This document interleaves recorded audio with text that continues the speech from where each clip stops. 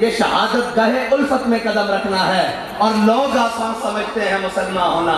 इस्लाम एक अपना माहौल रखता अपना तरीकाकार रखता इन अल्लाह नज़र फ़ी कुलूब इबाद है।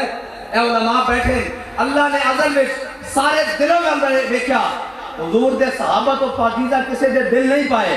लेकिन अल्लाह ने उन्होंने भी कदी बदर कदी ओहद कदी खंदक कदी मुरैसिद कदी मुस्तलक कदी यरमूक कदी कादसियत कदी तबूक जाके फिर आख्या रदी अल्लाह अनहुम बरदुअन हाँ इस तरह नहीं माँ, एक घर बैठे सुते हैं और असि कह दइए कि जनाब इस्लाम तख्त ते आ जाएगा, हुजूर दा दीन तख्त ते आ जाएगा, हुजूर के दीन वास्ते पहले मुसब बिन उमैर की हालत में जाना पड़ेगा।